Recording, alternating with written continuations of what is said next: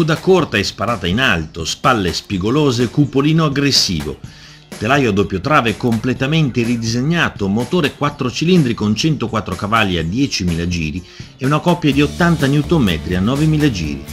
Il mix funziona e nel complesso la Suzuki GSR 750 è molto equilibrata. La posizione di guida è avanzata ma non estrema e in sella c'è posto anche se si è di buona statura. La GSR evidenzia un'ottima reattività e una piacevole precisione. La guida intuitiva e rotonda, non scende in piega troppo rapidamente né occorre sforzarla nei cambi di direzione e sul veloce, anche con il fondo sconnesso, non perde mai la coerenza. Il motore ha dei buoni medi, tali da permettere di guidare sul misto anche con le marce alte se non si vuole proprio il massimo. Fino a 4000 giri si avverte l'on-off, effetto che sparisce salendo di regime. Il meglio arriva presto, a 7000 giri già si cambia di registro e cambia anche l'andatura. La passeggiata è finita, tenetevi stretti.